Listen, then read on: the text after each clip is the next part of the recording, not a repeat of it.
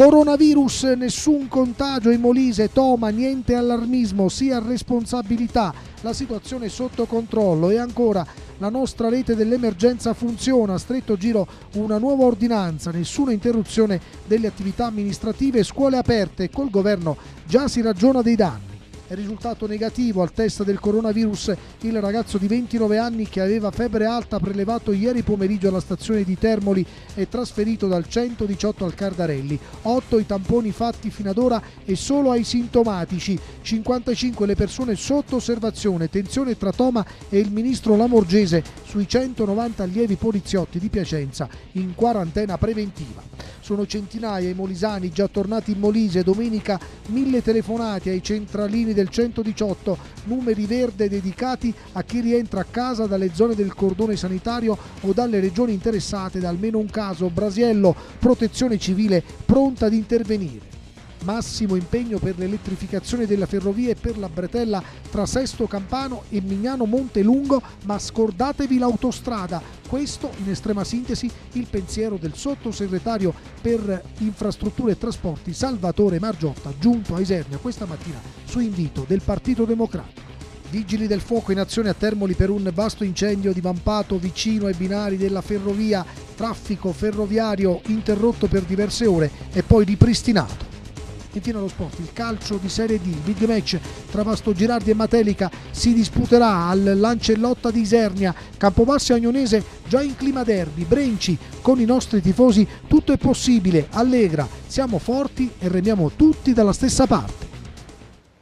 Allora, buon pomeriggio, ben trovati con eh, la nostra informazione in diretta dagli studi di Campobasso. In apertura, lo avete sentito anche dai titoli, c'è un'ampia pagina dedicata al coronavirus in arrivo, una nuova ordinanza da parte del Presidente della Regione. Donato Toma lo ha annunciato questa mattina nel corso di una conferenza stampa indetta per fare un po' il punto della eh, situazione. Incidente diplomatico poi rientrato con il ministro dell'interno Lamorgese per l'arrivo dei 190 allievi eh, agenti da Piacenza, inoltre con il governo si sta già ragionando sui danni all'economia. In apertura sentiamo Rita Iacobucci.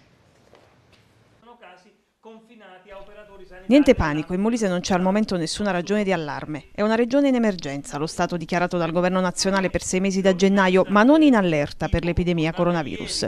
Lo ribadisce più volte il governatore Donato Toma nel punto stampa convocato a Palazzo Vitale insieme al commissario dell'Asrem Scafarto e al direttore del quarto dipartimento che ha competenza sulla protezione civile Brasiello. Dopo il confronto col governo nazionale in arrivo una nuova ordinanza, spiega Toma, e alcuni contenuti relativi alla prevenzione sanitaria soprattutto, per esempio l'obbligo di dichiarare segnalare la propria presenza sul territorio per chi rientri da zone in cui ci sia stato anche un solo caso accertato di coronavirus, erano già previsti nell'ordinanza che il Presidente del Molise ha emanato lunedì. Di fare una nuova ordinanza non appena verrà validata a livello della conferenza dei Presidenti, quella tipo che abbiamo concordato col Governo, però vi anticipo che la nuova ordinanza in realtà non è diversa dall'ordinanza che ho fatto io, è più specifica. Agli studenti diciamo di non preoccuparsi, non le fate le gite scolastiche fino al 15 15 di marzo sono sospese, poi vedremo, avremo modo di eh, recuperare. Eh, le scuole in Molise sono aperte, quindi per ora problemi non ne abbiamo, lavarsi sempre le mani, acqua e sapone eh, in primis, eh, se si starnutisce non starnutite in faccia al compagno di banco, ma come dicevano le nostre nonne, starnuto a gomito, nel gomito, eh, e sono questioni anche di semplice educazione. Cerchiamo di evitare luoghi estremamente eh, affollati. Rientrato poi un incidente diplomatico col ministro dell'interno dell'arrivo degli allievi agenti da Piacenza, rivela Toma, la regione non era stata affatto informata. Ci siamo chiariti con, eh, non solo col Ministro dell'Interno, in realtà devo dire che la collaborazione che abbiamo instaurato con il questore, con eh, i medici eh, della polizia eh, è stata talmente pregnante, talmente stretta, talmente collaborativa che abbiamo superato molto bene anche questa, questo piccolo difetto di informativa. Tutti se lo augurano, il Molise magari non avrà alcun caso di coronavirus oppure, come sembra in realtà probabile, ce ne saranno, ma senza conseguenze. Passata l'emergenza, questo però è certo, resteranno i gravissimi danni all'economia anche di questa regione. Sul punto, assicura Toma, è stato già sollecitato il governo nazionale. Abbiamo chiesto che il governo cominci a preoccuparsi degli interventi di natura economica perché i danni sono enormi, ingenti. Abbiamo danni al turismo, abbiamo danni all'economia italiana, abbiamo eh, danni ai rapporti con gli altri eh, paesi, ma i danni economici veramente sono ingenti. Stiamo per ora eh, sollecitando il governo a trovare fondi, prima di tutto per le regioni che hanno subito più direttamente il problema, ma anche per noi molisani.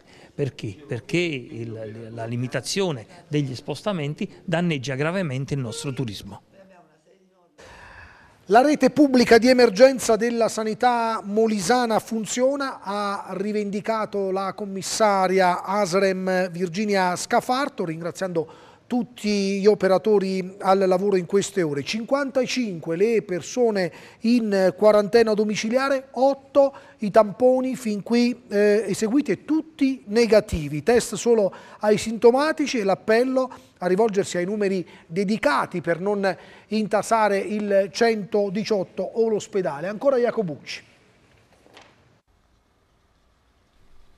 Mille chiamate al 118 nella sola giornata di domenica. Il contenuto il più vario. Tantissimi di rientro dalla zona rossa, i comuni del cordone sanitario, ma anche da quella gialla, i luoghi cioè dove si è registrato anche un solo caso di coronavirus e in realtà per area si intende regione.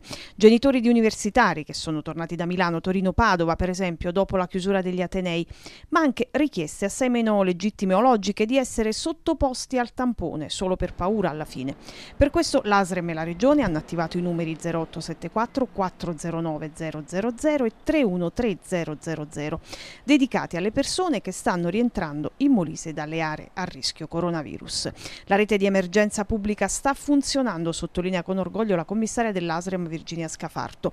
Non nasconde le carenze, soprattutto di medici e operatori sanitari, ma il sistema tiene e tiene se lo si usa in maniera appropriata. Dunque, chi è stato nei comuni del cordone sanitario in quarantena, se manifesta sintomi viene sottoposto al tampone, ma solo in quel caso. Emergenza e prevenzione hanno sotto controllo la situazione ancora a Scafarto, come dimostra l'episodio del 29enne prelevato a Termoli appena sceso dal treno, poi negativo. Sono 55 le persone in sorveglianza domiciliare in Molise con 37,5 di febbre, per esempio, non si effettua il test. Se però nell'arco dei tre giorni la situazione evolve in maniera negativa, si accerta l'eventuale contagio. L'appello della manager campana è a restare tranquilli, non c'è alcuna ragione di farsi prendere dal panico in Molise. Se ci sarà un caso, sottolinea ancora, siamo in grado di fronteggiarlo. La prevenzione è comunque vincente, lavarsi le mani bene e spesso, starnutire nel gomito, già che il coronavirus si trasmette via droplets, le goccioline di saliva, mantenere una distanza più adeguata dalle persone persone nei luoghi affollati che sono regole poi anche di buonsenso. La fornitura di tamponi per il momento è sufficiente, garantisce Scafarto. In caso servissero li acquisterà la protezione civile. Dai medici di famiglia, in particolare da uno dei sindacati dei medici di famiglia, prima frontiera dei cittadini che manifestano sintomi o anche solo preoccupazione, ha avuto assicurazione di una reperibilità fino alle 20. In una riunione alla direzione salute si concorderà un protocollo più organico. A capo dell'ASREM in via transitoria da novembre, Virginia Scafarto si è guadagnata sul campo campo la permanenza al fianco del neo DG Florenzano che si insedierà il 29 febbraio ma che è già in costante contatto con Scafarto e Toma per l'emergenza coronavirus. Toma non lo ufficializza, non potrebbe perché tocca al direttore generale decidere per esempio la carica del direttore sanitario ma da Palazzo Vitale si esce con la sensazione che sarà così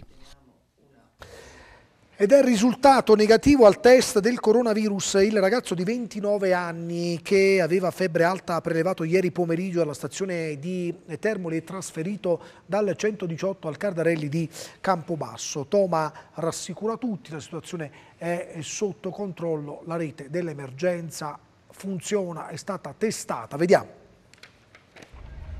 Caso risolto in meno di 4 ore, il tempo necessario per sottoporre il 29enne tornato in Molise sul treno Milano-Taranto agli accertamenti del caso. Il tampone è risultato negativo, il ragazzo aveva febbre alta, 39-40, precisa il commissario Asarem Virginia Scafarto. L'allarme è scattato ieri pomeriggio, il ragazzo si è autodenunciato alla stazione di Termoli ad attenderlo c'era il personale medico del 118 con mascherina, camice lungo e guanti. Immediato il trasporto trasporto al Cardarelli di Campobasso, poche ore e tutti hanno potuto tirare un sospiro di sollievo, tranquillizzati anche i 79 passeggeri che erano sul convoglio diretto in Puglia. La macchina dell'emergenza funziona benissimo, l'abbiamo testata. Il governatore Donato Toma nel corso della conferenza stampa di questa mattina lo ripete più volte, niente allarmismo, sottolinea sia la responsabilità sia la prevenzione. In Molise la situazione, aggiunge il presidente della regione, è sotto controllo, non ci sono casi di contagio e non c'è lo stato di allerta, bisogna solo utilizzare buon senso e fare prevenzione. Poi parla dell'azione del governo centrale, superficiale all'inizio, ma ora ha recuperato. Per questo ieri a Roma ha incontrato i parlamentari di Forza Italia per convincerli a votare il DPCM di Conte perché nell'emergenza dice bisogna remare tutti nella stessa direzione.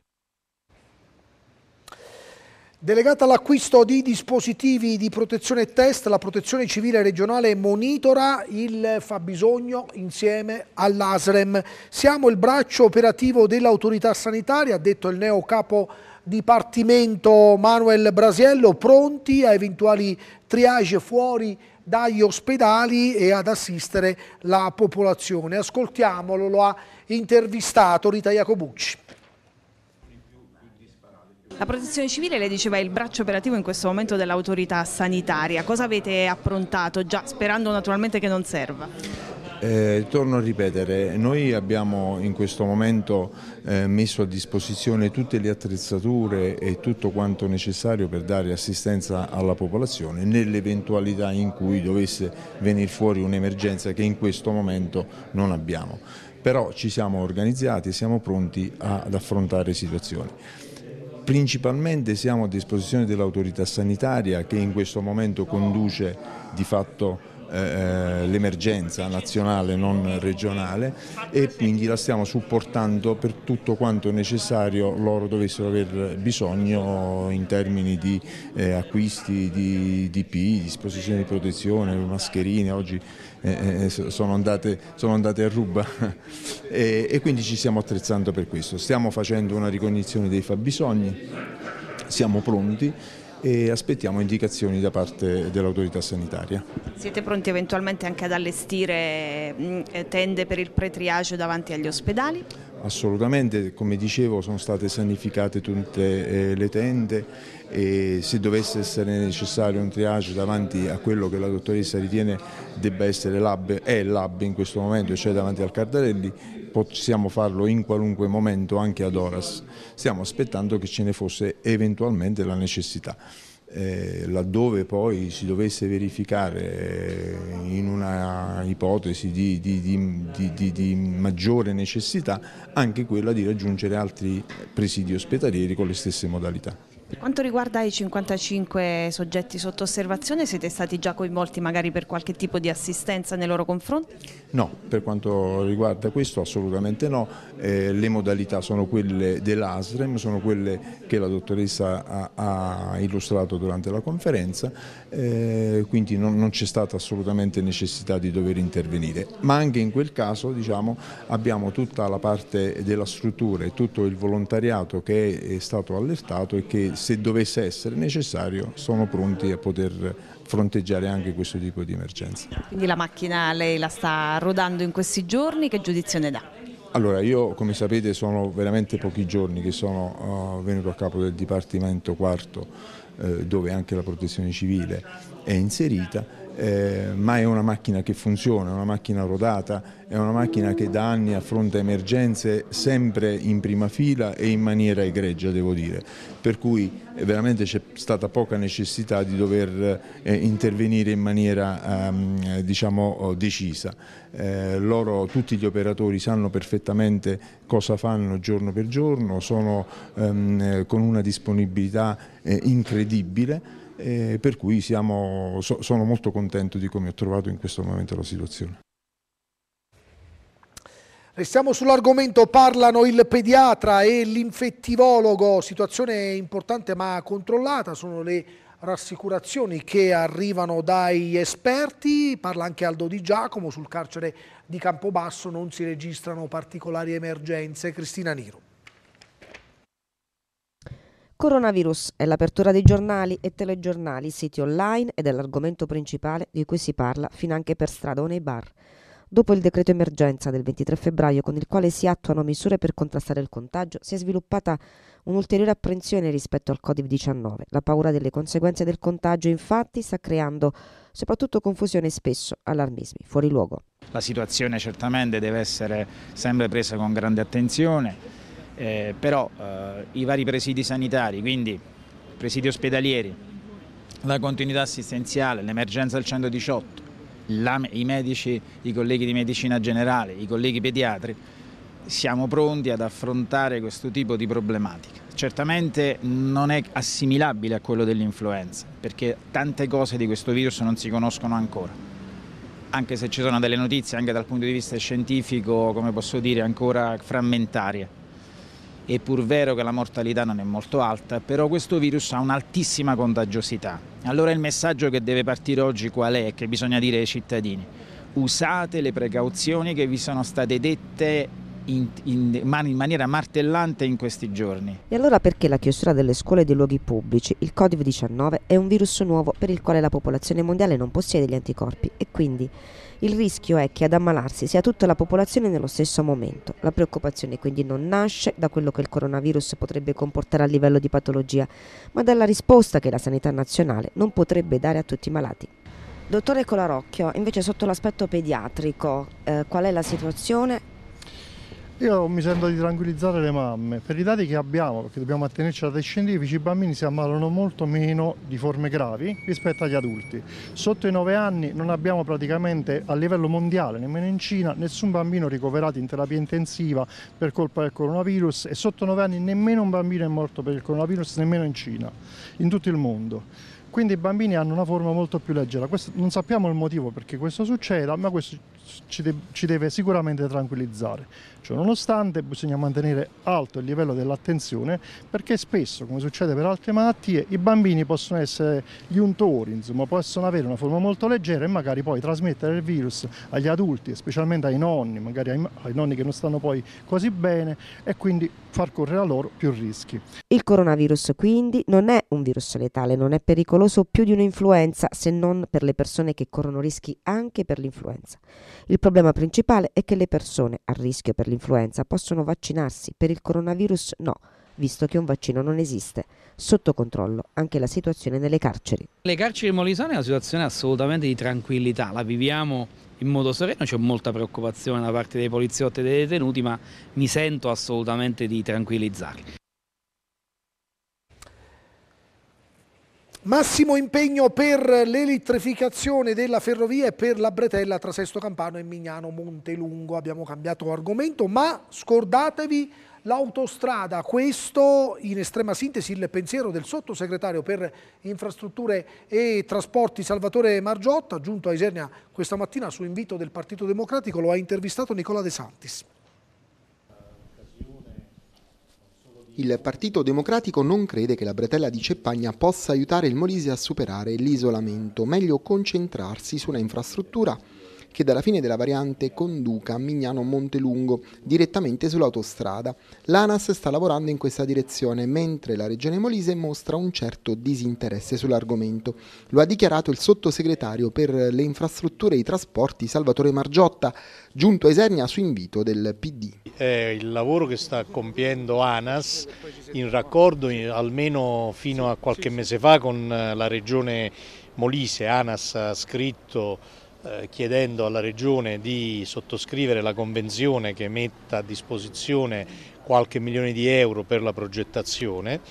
Eh, per la verità negli ultimi mesi non c'è stato riscontro da parte della Regione a questa eh, nota. Ho sentito proprio questa mattina, prima di venire qui, i vertici di ANAS e naturalmente il mio impegno è nelle prossime ore, nei prossimi giorni, convocare un incontro tra ANAS, Regione e Ministero per riprendere l'iter di questo eh, progetto che è la soluzione giusta dal mio punto di vista e anche dal punto di vista di chi ci sta lavorando per risolvere un tema annoso che riguarda la vostra regione, Isernia in particolare. Ingegnere civile, senatore del Partito Democratico eletto in Basilicata, Margiotta ha ascoltato con attenzione le stanze provenienti dal territorio tra queste l'elettrificazione della ferrovia, in particolar modo dalla provincia di Isernia verso il Lazio. Il sottosegretario ha assicurato il massimo impegno del governo per risolvere una questione divenuta ormai annosa. I lavori di elettrificazione sono in corso, c'è un progetto di 155 milioni di cui 80 finanziati per l'elettrificazione,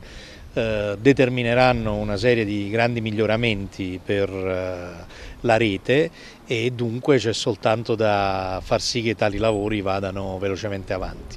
Per uscire dall'isolamento il Molise ha un bisogno vitale dell'autostrada. Tuttavia il senatore Margiotta con grande chiarezza spiega che il collegamento autostradale tra Termoli e San Vittore non è propriamente tra le priorità, per usare un eufemismo, del suo governo.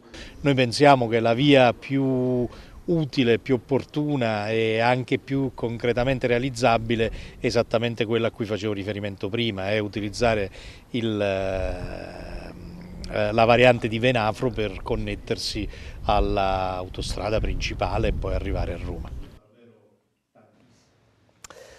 L'ACEM Ance Molise chiede per l'ennesima volta un incontro all'assessore all'agricoltura Nicola Cavaliere per discutere dei PSR, delle programmazioni future, dei pagamenti e degli aspetti di interesse delle imprese eh, edili. L'associazione lamenta come da quasi un anno sta attendendo un appuntamento mai ottenuto che si rende oggi più che mai necessario per fare il punto della situazione sui programmi di sviluppo rurale per poter informare le aziende associate.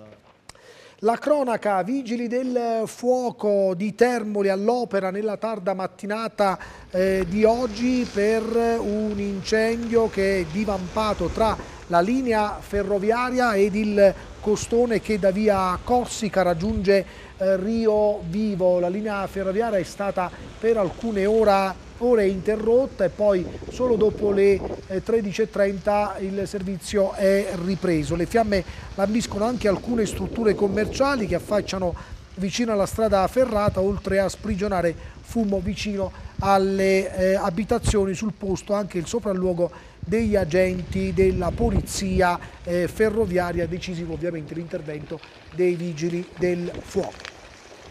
Restiamo sulla costa, si fingono persone per bene, ben vestite ma non lo sono affatto. In tre sono stati avvistati in periferia a Termoli ed in centro a compiere misfatti, due furti con scasso in pieno giorno, compiuti rispettivamente tra via dei Castagni, zona sud, contrada Casa La Croce e via Mario Pagano, traversa a pochi metri dal centro e dalla stazione ferroviaria. State vedendo le eh, immagini che spiegano più di ogni altra parola. In entrambe le circostanze gli appartamenti sono stati messi a soqquadro ed il legittimo sospetto è che i malviventi sapessero i movimenti dei proprietari. Giorni fa un altro tentativo in via dei Castagni, sempre nel medesimo palazzo in cui hanno agito questa mattina. Sul eh, posto sono intervenuti rispettivamente i carabinieri della compagnia di Termoli e gli agenti del commissariato di polizia.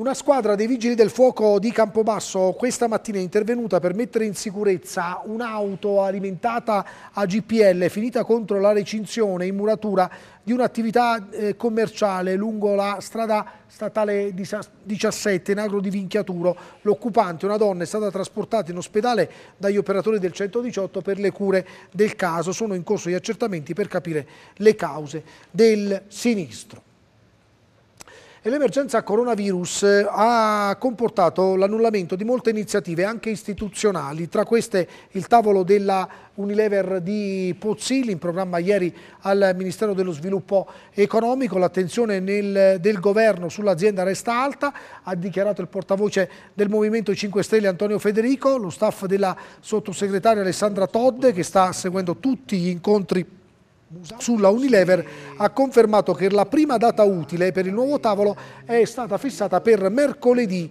4 marzo l'incontro con i rappresentanti di azienda, sindacati e regione si terrà in videoconferenza alla luce delle disposizioni del Ministero della Salute proprio in riferimento al coronavirus. E a circa un mese dal trasferimento della dottoressa Cinzia Guercio a Cosenza, il Consiglio dei Ministri su proposta del eh, ministro dell'interno Lamorgese ha provveduto a nominare il nuovo rappresentante del governo a Isernia. Si tratta di Vincenzo Callea, prefetto di prima nomina, nato a Palermo il 1 settembre, settembre del 1963. Proviene dall'ufficio affari legislativi e relazioni parlamentari del Ministero dove ha ricoperto il ruolo di viceprefetto con la mansione di capo ufficio nel settore relazioni parlamentari. Restiamo ad Isernia per parlare di lavori pubblici con l'annuncio eh, del vice sindaco Pietrangelo che ha detto ecco i bandi, bandi che riguardano la sistemazione della frana di via occidentale, la ricostruzione della San Pietro Celestino e la messa in sicurezza della San Giovanni Bosco. Nicola De Santis.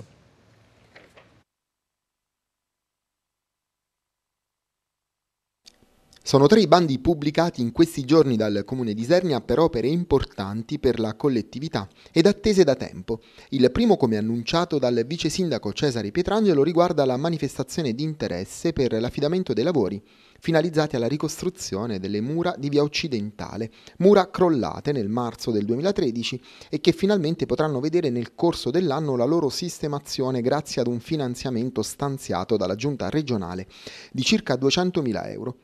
Altro importante bando è quello relativo al progetto esecutivo e alla realizzazione dei lavori di riqualificazione sostenibile dell'edificio scolastico Scuola Elementare San Pietro Celestino in Piazza Volta nel centro storico di Isernia. Il bando prevede lavori di riqualificazione sostenibile dell'edificio scolastico, intervento possibile a seguito del finanziamento di 3 milioni di euro concesso dal MIUR a novembre del 2017. L'opera consiste nella demolizione totale dell'edificio esistente, la ricostruzione dell'immobile su tre piani, di cui uno interrato in cemento armato, e due fuori terra con struttura portante in legno, al fine di elevare il livello di sicurezza strutturale connesso alle azioni sismiche. Infine il terzo bando è quello relativo alla progettazione esecutiva e all'esecuzione dei lavori per il recupero funzionale e strutturale dello storico palazzo che ospita la San Giovanni Bosco in Corso Garibaldi, il cui finanziamento di quasi 5 milioni di euro per il primo lotto è stato ottenuto con decreto del MIUR del 27 dicembre 2017. I lavori serviranno soprattutto a mettere in sicurezza l'edificio sotto il profilo sismico. Colgo l'occasione, ha dichiarato Cesare Pietrangelo, anche assessore ai lavori pubblici, per ringraziare tutti coloro che hanno contribuito alla realizzazione dei bandi. Solo un lavoro di squadra può far raggiungere positivi ed importantissimi risultati per la città, ha concluso il vice sindaco. Bene, questo era il nostro ultimo servizio, ora diamo uno sguardo alle previsioni del tempo, vediamo che tempo farà domani sul Molise.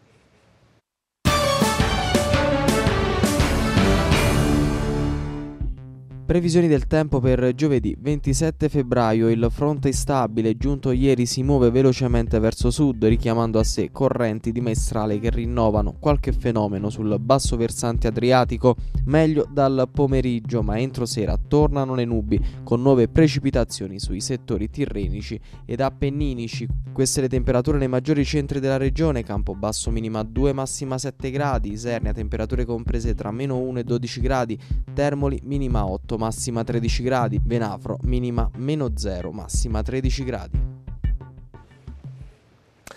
Bene, tutto per questa edizione, la nostra informazione torna questa sera alle 19.30, sempre in diretta con la collega Valentina Ciarlanti. Ora linea alla regia, subito dopo c'è la pagina sportiva, parleremo del derby di domenica che si giocherà al Romagnoli tra Campobasso e Olimpia Dionese con le due squadre che sono già in eh, clima derby appunto, parleremo anche del Vasto Girardi che giocherà contro il Matelica all'Ancelotta di Sernia, affari puntati anche sul eh, basket di Serie 2 tra pochissimo.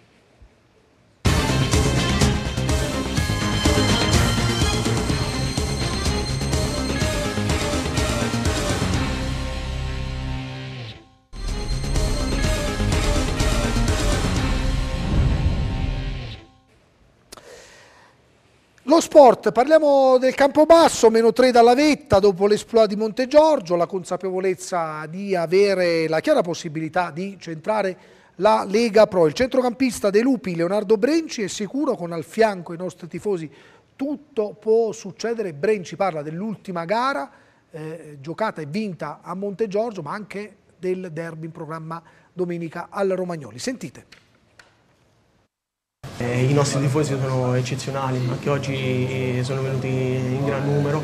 Eh, speriamo che adesso la prossima in casa contro l'Agnonese eh, sarà un, una bolgia.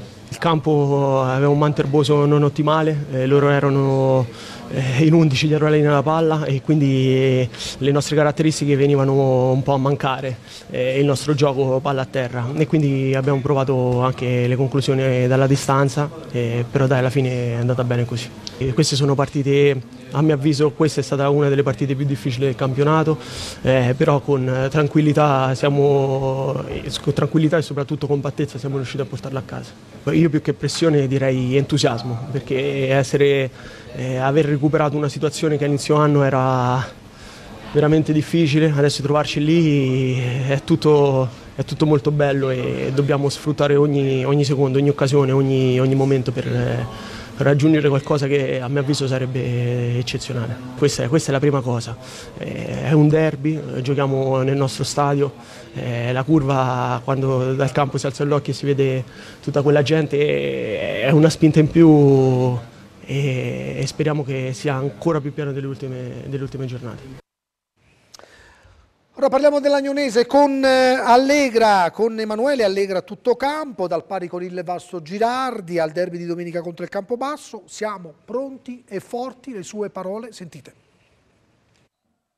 Si riparte dalla prestazione, quella c'è stata, una prestazione di sostanza da grande squadra, forse meno bella del solito ma molto concreta. Secondo me abbiamo fatto un'ottima partita, una delle migliori da quando, da quando sono qui abbiamo dato tutto fino alla fine. E secondo me, se non dico due rigori, ma uno ce ne stava sicuro. Arrivavamo su tutte le palle. Prima, abbiamo fatto una partita cattiva, quando si poteva giocare abbiamo giocato. E resta il rammarico che abbiamo lasciato due punti, però veramente sono orgoglioso di questa squadra che non, che non molla mai. È l'ennesima volta che siamo andati in svantaggio, subito l'abbiamo ripresa, abbiamo avuto tante occasioni per, per passare in vantaggio. Veramente sono felice di, di questo gruppo, di tutti, staff, presidenti, tutti, perché veramente remiamo tutti alla stessa parte, sono orgoglioso dei miei compagni.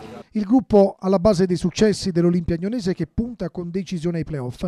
Uno dei punti di forza della squadra di Pizzi e Rullo è senza dubbio Emanuele Allegra, professione difensore goleador e in particolare rigorista infallibile, anche se domenica ha gonfiato la rete con un gran colpo di testa. Sinceramente volevo ringraziare i miei amici, che, mister, tutti che mi danno fiducia soprattutto a calciare i rigori, perché non è una cosa facile. Pablo, tutti gli attaccanti mi danno fiducia a far calciare. Spero che questa fiducia la sto ripagando. E poi lo volevo fare un gol di testa. Mi dispiace perché ero ancora più felice se, se vincevamo. Però a me non mi importa di gol, mi importa che la squadra va avanti, vinciamo e facciamo bene, lo stiamo facendo e secondo me stiamo facendo non un grande, un grandissimo campionato da un derby all'altro. Domenica scorsa il Vasto Girardi, tra qualche giorno il Campobasso alle Romagnoli, Granata contro la squadra più in forma del campionato, reduce da 17 risultati utili di fila, ma l'Olimpia è pronta a dare battaglia. Noi viviamo partita per partita, domenica c'è stato questo derby e ci siamo fatti trovare pronti. Penso che da quando sono qui ci siamo sempre fatti trovare pronti e domenica prossima sicuramente ci faremo trovare i punti. Se sarà una guerra facciamo la guerra, se si gioca a calcio giochiamo a calcio, siamo consapevoli delle nostre qualità, umili, ma sappiamo che siamo forti e siamo un grande gruppo e la cosa principale è che siamo tutti uniti dalla stessa parte. Il Vasto Girardi giocherà tutte le prossime gare interne sino a quando non sarà disponibile il Di Tella al Lancellotta di Isernia ad ufficializzare la decisione è stato il presidente Andrea Di Lucente alla base della scelta, alcune frizioni con l'Olimpia Ionese sulle tariffe di accesso allo stadio eh, Civitelle da domenica in campo a Lancellotta, dunque queste le dichiarazioni eh, del numero uno del Vasto Girardi Andrea eh, Di Lucente che domenica Isernia riceverà la visita della prima della classe. Dal calcio di Serie D al basket, miglior realizzatrice della sfida col Livorno, l'esterna della Magnolia Campobasso, Elisa Mancinelli fa il punto della situazione in casa rossoblù, intanto la, tutti i campionati nazionali di basket sono stati sospesi dalla federazione e la giocatrice intervistata da Franco Presutti. Che dire di questa gara? Insomma è stata relativamente facile, avete surclassato le toscane come da pronostico. Beh, sì, diciamo un ottimo test complessivo, sia in attacco che soprattutto in difesa. Abbiamo, le abbiamo concesso 37 punti, quindi diciamo un ottimo test. Soprattutto siamo rientrati al completo con Lucia Di Costanzo che ha avuto qualche problemino, quindi eh, diciamo bene, dai. Anche San Martino ha preso la sua buona dose di applausi. Sì, sì, sì, ah, finalmente è, è, giusto che anche lei si prenda degli applausi perché poi le, diciamo le giovani sono sempre quelle che non, non appaiono apparentemente ma poi cioè, si allenano e con noi tutta la settimana cioè, fanno gli stessi numeri di allenamento quindi è giusto che anche loro vengano gratificate. Senti, dopo la pausa siete pronte per affrontare queste Final 8 di Coppa Italia di A2?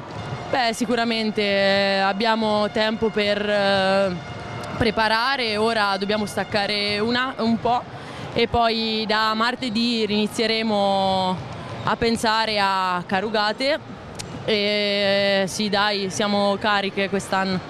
Ecco, dal 6 all'8 diciamo che il Piemonte diventa un, eh, un centro importante per il basket femminile. Sì, saranno tre giorni di basket a Moncalieri e speriamo venga gente, ci auguriamo di fare del nostro. Stasera il pubblico tutto in piedi negli ultimi minuti.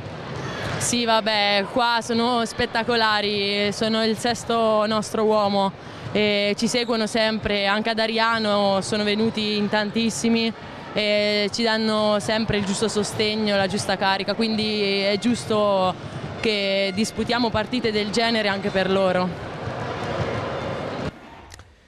Prima dei saluti vi ricordo l'appuntamento di domani sera alle 21 con Molise Sport, ospite tra gli altri il eh, responsabile dell'area tecnica del Campobasso, Luigi Mandragora, appuntamento alle 21 con Franco Presutti e i suoi ospiti. Molise Sport è tutto, anche con l'informazione sportiva che torna eh, dopo il TG delle 19.30. Grazie, buon pomeriggio, arrivederci.